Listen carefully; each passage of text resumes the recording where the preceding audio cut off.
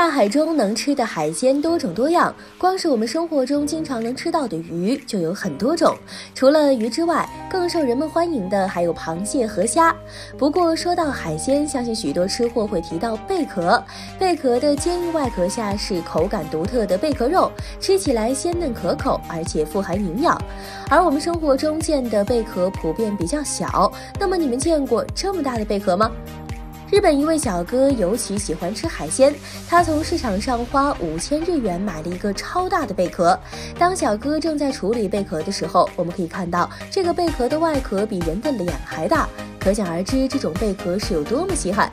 小哥用刀慢慢将贝壳打开，将贝壳打开之后，里面饱满的贝壳肉让人惊讶。里面的贝壳肉鲜嫩多汁，小哥将贝壳肉切下来之后，用清水进行清洗。待贝壳肉清洗干净之后，小哥将不能吃的部分切除，接着将贝壳肉上奶白色的部分切片。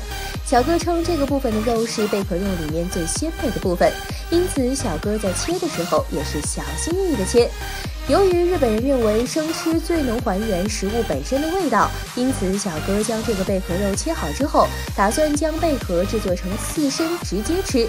小哥非常有仪式感，切片之后再进行摆盘，并配备蘸料吃。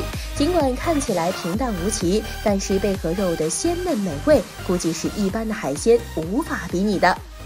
好啦，今天的分享就到这里，拜拜。